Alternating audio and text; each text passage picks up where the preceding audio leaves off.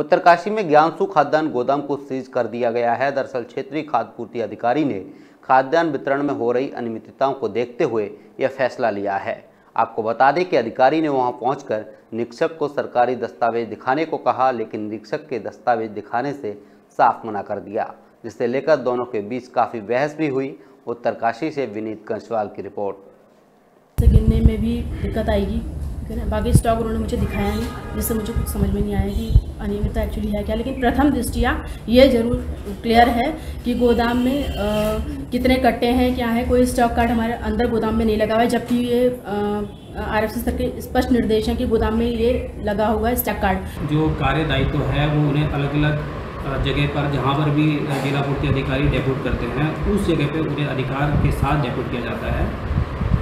क्षेत्रीय खाद्य अधिकारी हमारे चिन्याली सौड़ में भी तैनात हैं। दो क्षेत्रीय खाद्य अधिकारी रेल हेड में तैनात हैं, जिन्हें रेल हेड में तैनात किया गया, उनका कार्य क्षेत्र रेल हेड है। उनका अपना जो कार्य करना है रेल हेड क्षेत्र।